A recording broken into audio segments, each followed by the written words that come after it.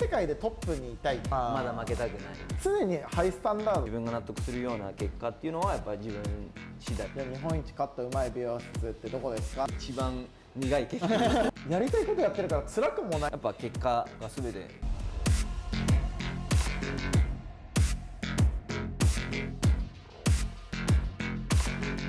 こんにちは、あつとしです。で、今日はあの異業種対談ということで、フットサル日本代表の森岡薫選手に来ていただきました。で、森岡薫選手は F リーグ開設以来、年間 MVP を4回で年間の得点王を4回取ってるあのすごい選手なので、ちょっとぜひお呼びして対談したいと思ったので来ていただきました。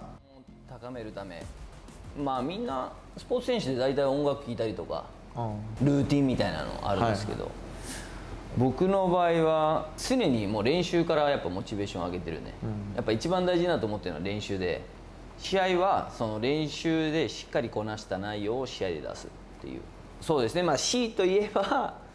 若い子には負けたくない。まだ負けたくないっていう。負けず嫌い。まあ負けず嫌いっていうのもあるんで まあ唯一だからそそこを考えることでもうモチベーションおのずと上がってきますし、なんか僕はモチベーションを高めるって言葉がもうすでに理解できなくて、常にもうなんか僕も負けず嫌いなんでなんか他の美容師が働いてる時に自分が休んでるともうなんかその時点で置いてかれそうな気がして、まあ、怖くて休めないというかなんかもう常に結構フルスピードで全力でやっちゃうんでモチベーションを上げるアドバイスをもらってあげるような子ってきっともうすでに頑張れてない子だと思う思うんですよね。で薫さんもきっと常に薫さんの練習とかのスケジュール聞くとわけわかんないんですよ。なんか2部練行ってきたみたいな。なんかトップの練習行ってサテライトの練習も行ってみたいな感じを見ててなんか常になんかそれこそ MVP4 回とか得点を4回とか取ってるのにサテライトの練習まで行って自分を高めようとしてるのを去年とか見ててなんかこのこの人実は努力の天才なのかとか身体能力だけじゃなくてやっぱりそのモチベーションを常に高く持ってるからここまで行ったんだろうなっていうのを知ってなんかそのモチベーション上げようと思って上げるような人ってプロじゃないなっていうのは思っちゃったんですけどなんか常にハイスタンダードなんかモチベーション上げるために何かしてるのかもしれないですけどなんか下がってるのを僕らには見せない。そうだね。だからモチベーション上げるっていうよりもモチベーション下がらないいいようにするあーどっちかというと。自分はやっぱ現役やってる以上は常に上にいたいし、どこまでいけるのかって、天井はやっぱないと思うからどんな世界でも、どこまでやれるかっていうところを常に考えてるから。だから結局自分がライバルになってるから常に頑張れるっていう感じですかね、うんまあ誰かを目標にとかしちゃうとそこを勝っちゃったらもうなんか目標見失っちゃったりとかする。そうね。あんま人を目標にしないなあの参考にはしても目標にしない,、はいはい。はいはい。結局やっぱ自分との戦いだし、僕らは何団体競技ですけど、はい。結局やっぱその結果出すのって、まあ、自分次第だだから、っていう部分もあるからもちろんね味方もあるしその相手もいるしその状況っていうのもあるけど、やっぱりそこで、ね、あの自分が納得するような結果っていうのはやっぱり自分次第だと思ってるから、えー人を目標にしないですけど、まあ、参考にははたくさんしてきたし生まれ持ったセンスとかみんな言うけど、結局そうじゃないと思ってて、誰かを見て見真似で始めるし、誰かを見てこういいところだけをこう取り除こうとかって思うし、やっぱそれはねひ人から伝わっていくことだから、まあ、スポーツでも美容院の世界でもそうだと思うんで。それこそ本当なんか基本が負けず嫌いが結構強いんでなんか負けず嫌いであったりとかなんか休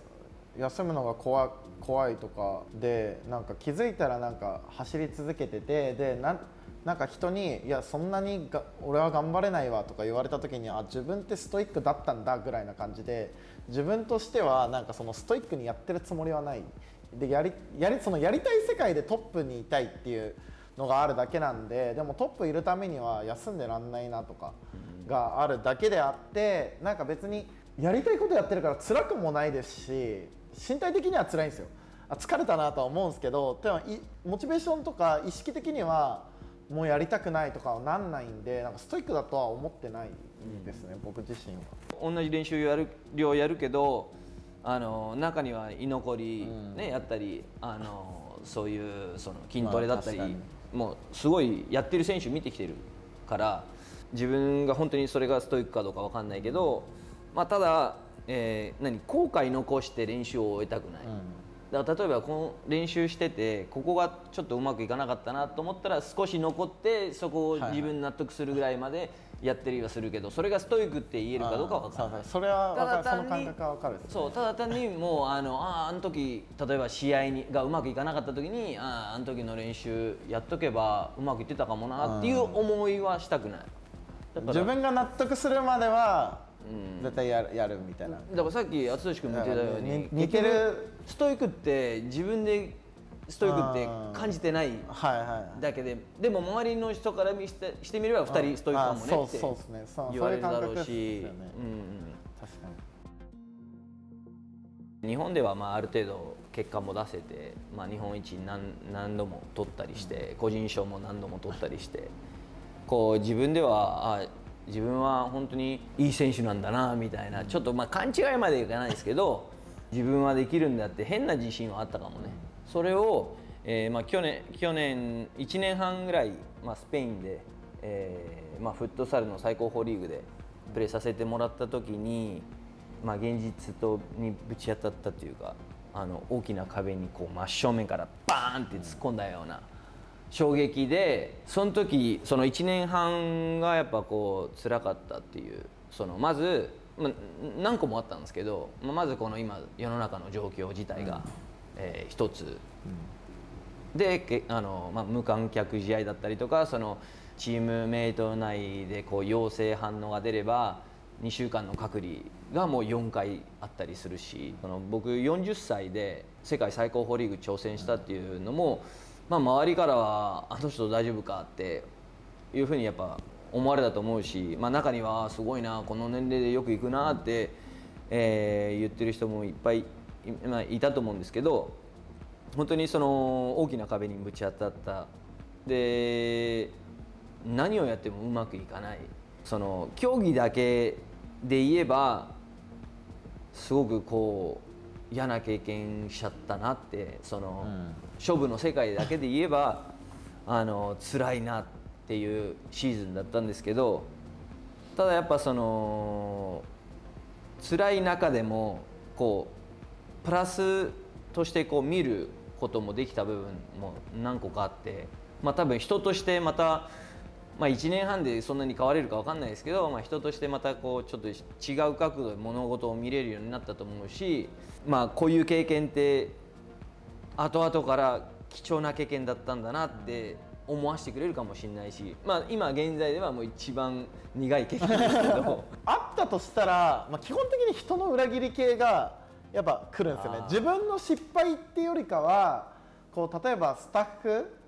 が急に2人3人とかでまとめて抜けちゃうとか、経営者だもんね、はい、だからなんかそうだよね。自分が信じてた人に裏切られてで別なサロン出されるとかなんかそういうなんか裏切り系は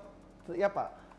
1ヶ月ぐらいはへこむっすけどでも別になんかそうなった自分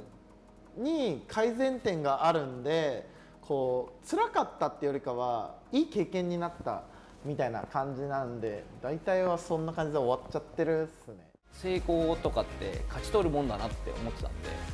自分で日本一勝ったうまい美容室ってどこですか？ってみんなが聞かれた時にまあガルテって言われるような組織を